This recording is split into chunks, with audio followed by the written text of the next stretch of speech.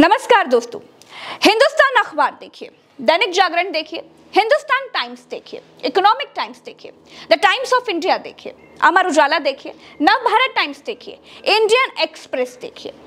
यहाँ केवल अखबारों के नाम अलग अलग हैं, लेकिन उसमें छपे हुए प्रधानमंत्री मोदी सेम है। सब में नरेंद्र मोदी ही दिखाई दे रहे हैं। जो अखबार आपको नहीं दिखा पा रही हूँ, या फिर जो अखबार आपके घर पर आता होगा, उसमें भी आप पहला पन्ना खोलेंगे तो नरेंद्र मोदी ही छपे हुए दिखाई देंगे। लेकिन फिर भी नरेंद्र मोदी संसद में खड़े होकर सवा सौ करोड़ देश की जनता के सामने लोकतंत्र के मंदिर में झूठ बोलते हैं। आदरणीय अध्यक्ष जी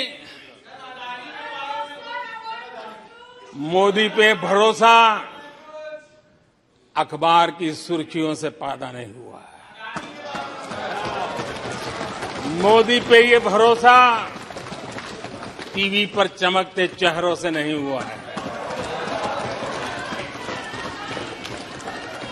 जीवन खपा दिया है, पल पल खपा दिए है। देश के लोगों के लिए खपा दिए है।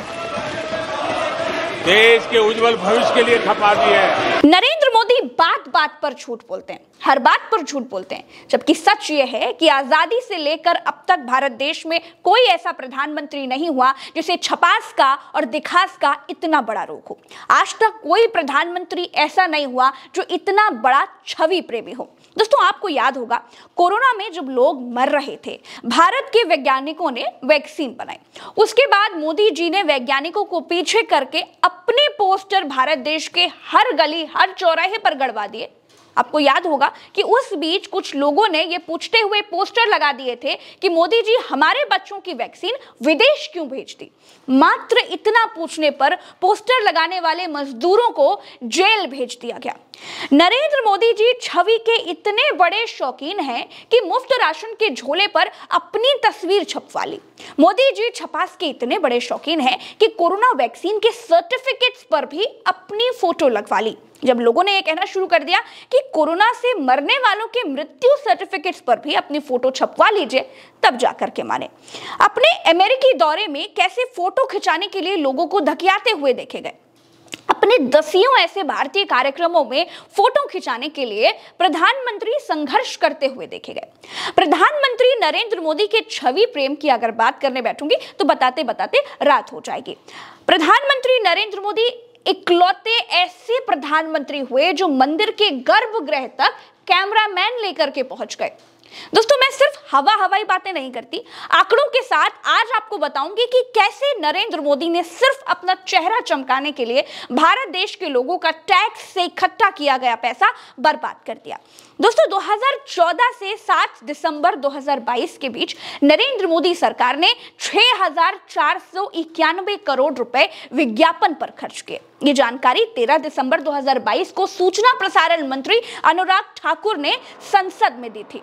दोस्तों 2014 के बाद से मात्र 8 साल 10 महीने में प्रधानमंत्री नरेंद्र मोदी ने विज्ञापन पर लगभग छह हज़ार चार सौ इक्यानवे करोड़ रुपए खर्च किए। इसमें प्रिंट मीडिया पर 3,230 करोड़ रुपए खर्च किए गए और टीवी मीडिया पर अपनी तस्वीर वाले विज्ञापनों में 3,260 करोड़ रुपए खर्च किए गए। दोस्तों इस हिसाब से नरेंद्र मोदी अपना चेहरा चमकाने के लिए हर महीने किसी न किसी बहाने से बासठ करोड़ रुपए खर्च करते हैं। और अगर रोज के हिसाब से अगर निकालेंगे तो दो करोड़ रुपए नरेंद्र मोदी हर रोज अपना चेहरा चमकाने के लिए विज्ञापनों पर खर्च करते हैं। दोस्तों बीबीसी ने भी आरटीआई लगा करके ये जानकारी मांगी कि कांग्रेस ने 10 साल में विज्ञापनों पर कितने रुपए खर्च किए और 8 साल में नरेंद्र मोदी ने विज्ञापनों पर कितने रुपए खर्च किए। दोस्तों, जो खुलासा हुआ है, वो आपके होश उड़ा देगा। कांग्रेस अपने 10 साल के कार्यकाल में कुल तीन करोड़ रुपए खर्च किए और नरेंद्र मोदी सरकार ने मात्र 8 साल में कांग्रेस से दो गुना मतलब 6000 करोड़ रुपए खर्च किए।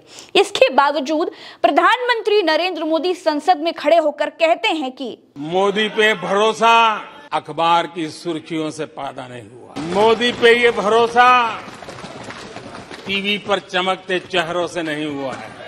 जीवन खपा दिया है।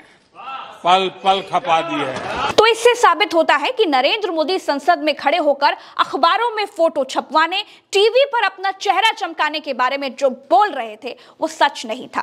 बल्कि सच इसके बिल्कुल उल्टा है। जो आप देश की राष्ट्रीय मीडिया पर कभी नहीं देख पाएँगे। दोस्तों, क्या आपको मालूम है कि सरकार जिन चैनलों से या जिन अखबारों के सत्य से परेशान हो जाती है, सबसे पहले उसका विज्ञापन रोकती है। लोकतंत्र में लोगों की जुबानें सेंसर्ड हैं। नरेंद्र मोदी एक भी आलोचना का जवाब नहीं देते। गुजरात दंगों पर बनी बीबीसी डॉक्यूमेंट्री को भारत में बैन करवा देते हैं। लेकिन नरेंद्र मोदी संसद में आलोचना को शुद्धि यंत्र बताते हैं। यह भी अपने आप में सबसे बड़ा झूठ है। दोस्तों, आज के इस वीडियो में इतना ही। चलते हैं। राम राम, दुआ सलाम, जय हिंद। चैनल को सब्सक्राइब करिए। फेसबुक पर देख रहे हैं तो फॉलो करना मत भूलिए। ट्विटर पर अपनी प्रज्ञा को at the rate Pragya live नाम से खोज कर फॉलो कर लीजिएगा। सारे लिंक डिस्क्रिप्शन में है। नमस्कार।